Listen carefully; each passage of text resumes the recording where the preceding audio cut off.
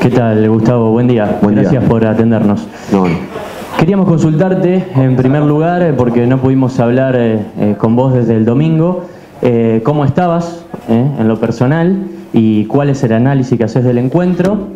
Y como segunda pregunta, consultarte, porque sabemos que estuviste reunido con la dirigencia en estos días, qué es lo que nos podés contar, si es cierto que pusiste el cargo a disposición y eh, anímicamente cómo estás para enfrentar eh, lo que viene en Newells. Sí, primero eh, a través de ustedes que son el, puente hacia la gente que trabaja en cada uno de los medios. Yo el, otro día hablé con los chicos de prensa, tomé la decisión de no hablar mía, personal, porque anímicamente no me encontraba bien después de perder eh, un clásico, la única razón.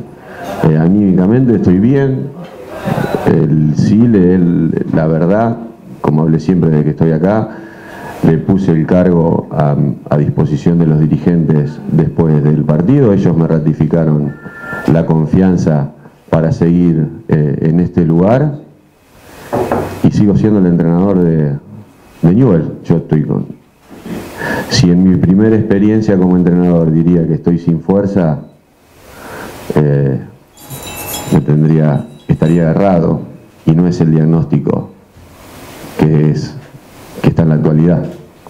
Gustavo, más que el qué, que es perder el clásico, ¿dolió el cómo se perdió? Duele perder, Independientemente de la forma. duele perder, estos partidos duelen mucho. Eh, las formas las analizamos, eh, las charlamos, las, las entrenamos, pero duele perder, sí, por todo, por la forma que habíamos llegado, por la expectativa que había, y porque en definitiva somos de Newell. Como entrenador del equipo y como responsable de la disposición táctica, digo, ¿crees que es el momento de cambiar algo? Y preguntarte si, bueno, nos enteramos que hoy probaste con otros sistemas, si ya lo tenés definido en tu cabeza o vas a esperar y vas a esperar hasta el entrenamiento de mañana. Y vamos a esperar hasta que llegue la hora del partido, pero uno cuando analiza ciertas cosas y este cargo, uno está para tomar decisiones, eh, que muchas veces son acertadas y otras no, pero son decisiones, de esto vivimos los entrenadores. eh, está la chance de poder cambiar, la chance concreta de poder jugar con otro sistema, pero siempre con el mismo protagonismo. Gustavo, ¿qué, qué diferencia hay entre poner el cargo a disposición y renunciar eh, en tu concepto? Y, y qué respuesta encontraste por parte de los dirigentes, además de las personales tuyas, para que siga siendo el técnico? Diferencia es que la renuncia no tiene vuelta. Eh, me pareció, después de hablarlo con la gente que trabaja del grupo nuestro de trabajo, porque yo soy la cara visible, pero nosotros somos más que Ragio, y Newell está por encima de eso, que lo dije desde el primer día que, que estoy acá, que lo más importante es nuestro club, es lo único. Eh, le di la chance a ellos, a los dirigentes, de que si pensaban que después de perder eh, el clásico, eh, yo le, dejaba el camino libre para que tomaran cualquier tipo de decisión. Conmigo no iban a tener, ni iban a tener ningún tipo de inconvenientes, porque me conocen, saben cómo manejo, saben cómo soy. Eh, porque en definitiva eh, yo soy el entrenador y soy el responsable de esto y siempre lo asumí y no tengo problemas en asumirlo. Como también asumí el día que me dijeron si podía dirigir, que si aceptaba el desafío de dirigir la primera de Newell, después de cinco años y medio de carrera en divisiones inferiores, esto es más o menos parecido, pero en la, en la toma de decisiones. Eh, Creo que me parece que me expliqué. eh,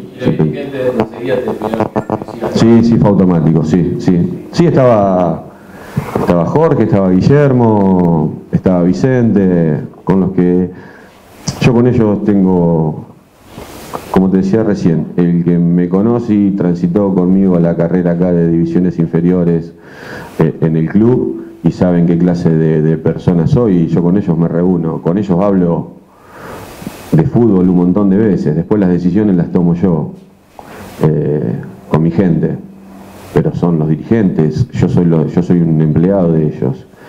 Y me pareció que de mi lado yo tenía que decirles eso. Como responsable, como cara visible de este plantel, eh, ¿cuál es el mensaje para el hincha después de esta derrota?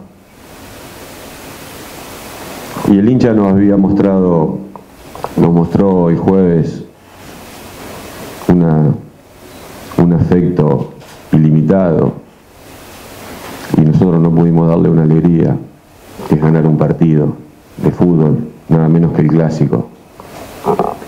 Eh, uno lo entiende, que esté dolido, que esté como esté, porque yo soy el entrenador, pero yo soy de Newell y yo estoy igual. Gustavo, con respecto al desarrollo del partido y porque los análisis siempre son para mejorar después, ¿qué viste que, le faltó a Newells en el partido contra Central?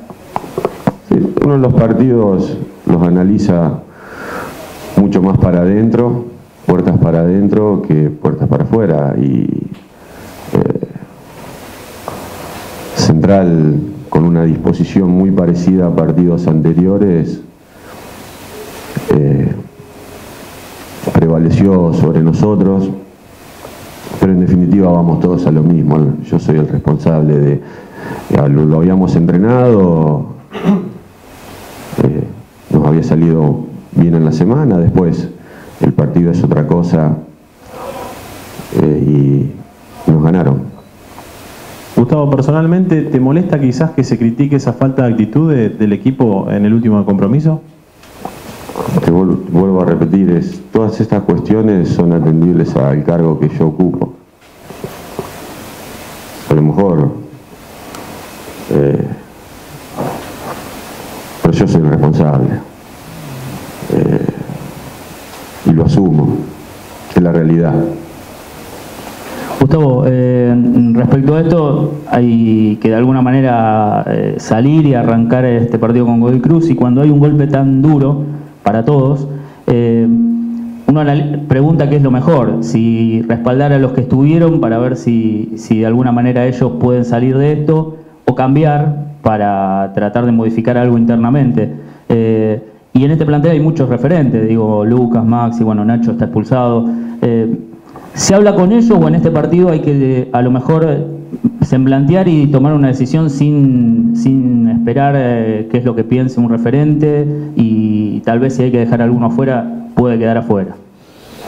Yo, Chino, desde el primer día que me senté acá eh, como entrenador, como decía anteriormente, los entrenadores vivimos tomando decisiones y en las decisiones está, en juego nuestro laburo.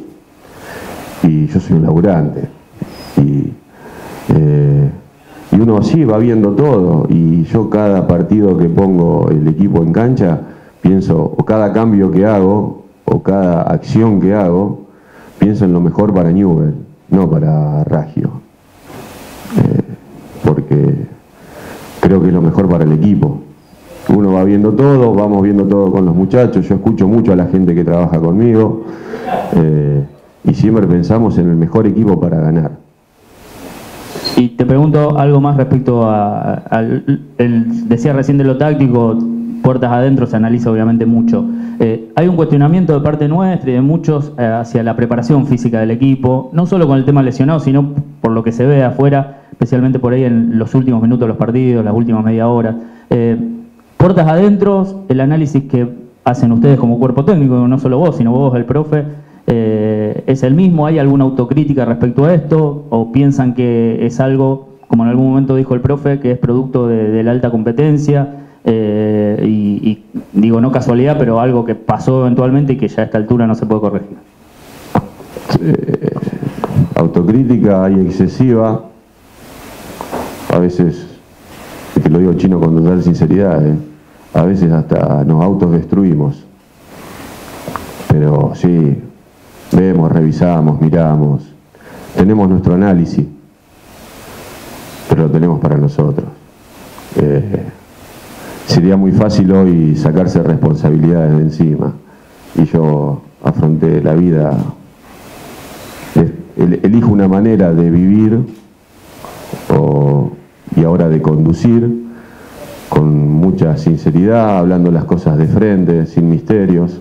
Y sí lo hacemos, la autocrítica, continuamente, diariamente, hora a hora cuando estamos acá adentro.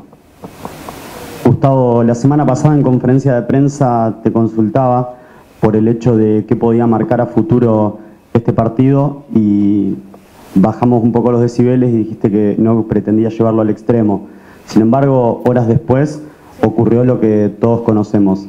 Ahora te pregunto en su momento, ¿qué pasó por tu cabeza para cambiar radicalmente ese pensamiento post partido? Eh, ¿Se entiende la pregunta? No, ¿a dónde?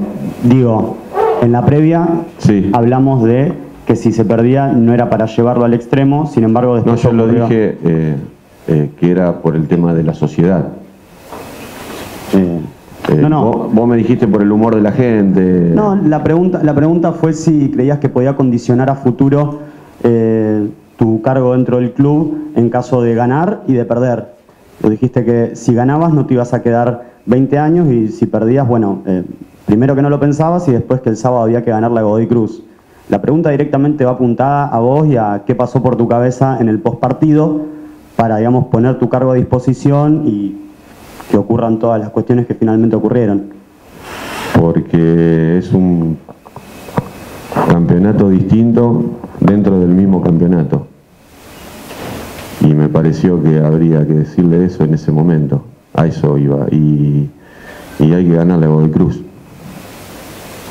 Gustavo, em, habló... disculpa, perdón, disculpa por no haberte interpretado bien la...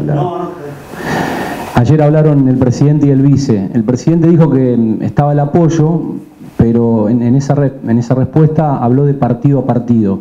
No sé si es lo que quiso decir o se malinterpretó. Y no te voy a preguntar qué pasa si el sábado perdés porque querés ganar. ¿Qué pasa si el sábado ganás o gana tu equipo porque la mayoría de los entrenadores se van en la derrota o en el empate, pero algunos también se han ido en la victoria. Y si te vamos a ver el lunes acá, si tenés la suerte de ganar, hacia Defensa y Justicia. Y estamos analizando un montón de variables con la gente. Yo soy el responsable de un montón de gente, como le decía al chino, que nosotros laburamos de esto. Necesitamos laburar. Eh, y estamos acá porque, y yo estoy acá porque hice una carrera de divisiones inferiores, eh, porque estuve cinco años y medio laburando y porque nadie me regaló nada para estar acá. Y todas las posibilidades son viables. Hoy la realidad es esa. Entiendo que mm, no vas a tomar una decisión egoísta personal, sino vas a entender que vas a consensuar con, tu gente, ¿no? Con la gente está... está Julio, está Gastón, están los profes. Nosotros somos cinco. Y se habla, yo, nosotros, como lo dije un montón de veces, nuestro grupo es tremendamente abierto al diálogo, hacemos mucho autocrítica, hablamos mucho entre nosotros y vamos viendo el escenario a donde nos estamos moviendo para ver, siempre nosotros lo que queremos, yo lo que mejor quiero es lo mejor para Newell, más allá de que yo vivo de esto y soy un, un laburante de esto, eh, y la gente que está conmigo igual. Pero veremos, lo único que quiero es que los jugadores lleguen de la mejor manera posible al partido del sábado y poder hacer una, un buen partido y ganar. Y dejando de lado el partido del sábado, Gustavo, hoy tu ánimo para continuar, ¿cuál es? El mejor. si no, no podría ir a dirigir un partido de fútbol. Gustavo, dos preguntas. La primera eh, tiene que ver con ese famoso papel que, bueno, que ya sabemos todos lo que ha sucedido. Preguntarte por qué la decisión de, si bien es un dato de color, digo, pero por qué la decisión de entregar un papel y tal vez no una indicación para un futbolista y que se la transmita al resto. Porque me pareció que en un escenario con el equipo perdiendo, y si ustedes me han visto dirigir durante todas estas 12 fechas, eh, yo no soy de gestos ambulosos, no me gustan, no me gustan. Creo mucho más en la práctica del entrenamiento y me pareció que la decisión correcta era eh, en lugar de hacer gestos con la mano, que vuelvo a repetir, no me gustan, era eh, enviar eh, ese papel. Una cuestión, una modificación táctica, nada más que eso. Clarísimo. Eh, bueno, después ya metiéndonos en el partido del sábado, eh, recién hablabas de los sistemas y que lo vas a definir en las próximas horas. Eh, preguntarte si, justamente pensando en, en Godoy Cruz, confirmás la baja de Cáceres, de Mateo, de Villalba, que ya lo han confirmado los médicos, eh, y si puede llegar a aparecer, porque lo probaste hoy, Iván Silva, ¿es una posibilidad o ya tenés definido que, puede ya estar desde el arranque? Y hemos perdido los dos volantes centrales con los que yo, que nosotros no veníamos, que Newell se venía manejando. Y Iván ya ha venido haciendo entrenamientos con nosotros, viene haciendo muy buenos partidos en división reserva y tiene muchas chances de tener la posibilidad de debutar en primera. Te hiciste cargo de, la derrota al punto que pusiste el cargo a disposición. Eh, quizás la bronca de la gente, que es en general, eh, es porque se perdieron tres clásicos, pero vos perdiste uno. Si sentís eh, que un poco estás pagando los platos de, de Berti, a quien también le costó el cargo, un Berti que había dicho perder dos clásicos en Rosario es mucho, y en este caso fue, fue el tercero. Sí, pero es perder contra Central. Y si me toca hacerme cargo a mí, es la realidad. Yo voy a dirigir mi partido número 13 en primera división. Excusas puedo poner cualquiera, lesionados. Pero tampoco me quiero autodestruir. Eh, hoy soy el técnico de Newell. El sábado voy a salir a la cancha con el equipo. Esa es la realidad. Gustavo, te, preguntaba mm, eh, por eh, lo que viene, eh, más allá de Godoy Cruz, más adelante por ahí uno, como decís vos, no se puede ver. Eh, ¿Cómo ves al plantel de cara a este partido? En general, digo, no, no, porque hay posibilidad de, de debut de juveniles, hay posibilidad de continuidad de, de- de- quienes están jugando hasta ahora. Digo, eh, ¿cómo lo ves al plantel? Y sentís, porque también para seguir, me imagino que deberás sentir apoyo del plantel hacia tu idea, hacia tus cambios, hacia lo que quiera. Digo, si sentís que eso está, porque a veces uno percibe, eh, bueno, voy a cambiar un equipo que hace más de dos años y medio que está jugando de una manera y de alguna manera siempre ha costado eh, cambiarle ese libreto a este equipo. Digo, si, si más allá de tus fuerzas y tu ánimo sentís que desde adentro está esa percepción de, bueno, cambiemos, es el momento, ¿no? Si uno decide cambiar o sistemas o jugadores, eh, es lo que decía con anterioridad, es la toma de decisiones.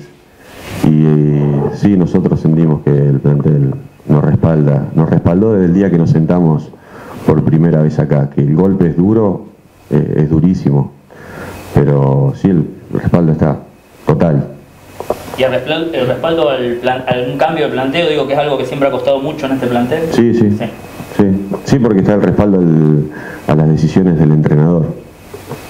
Eh, Pensando en el arco, consultarte si ya es baja Ustari por la dificultad que, acarrea desde el partido pasado, si, si Hoyos va a atajar o si también Ezequiel Unzaín de, de grandes condiciones y, de buen trabajo podría tener la, la chance de debutar pensando en, el presente y en el futuro también de- del arco de Newell's. Van, vamos a concentrar esta noche eh, y van a quedar concentrados los tres arqueros. Siempre tomamos algunos recaudos porque hemos tenido eh, este proceso de lesiones notorio durante mi proceso. Hemos tomado algunos recaudos y hemos esperado hasta casi último momento. En las mañanas de los partidos definimos quiénes son los muchachos que, son los que van a eh, entrar al campo de juego. Pero Oscar se viene recuperando muy bien, me ha expresado el deseo de estar. Eh, Lucas y ese son también dos muy buenos arqueros, vuelvo a repetir, están los tres arqueros en la lista de concentrados y eh, vamos a entrenar mañana por la mañana y ahí vamos a ya definir quiénes son los, jugadores que van a jugar. Eh, Gustavo, mm, nos enteramos que concentran desde esta noche. Eh, creo el, el último entrenador que concentró dos noches antes fue el Tata y antes el Tolo Gallego. ¿A qué obedece este cambio de modalidad? Bueno, obviamente fue aceptado porque acabas de decir que está el apoyo del plantel para, para todas las decisiones que tengas que tomar, aunque sean antipáticas como dejar a la familia dos días antes. Y es una decisión, lo hemos hablado, me parece que en este tiempo tenemos que estar más tiempo de lo normal juntos, porque la convivencia es muy buena. Eh, y tomamos la decisión de eh, juntarnos hoy y, y esperar el partido de- del sábado con un día antes en Ricardone. Muchas gracias. Chao gente, hasta luego. ¿eh?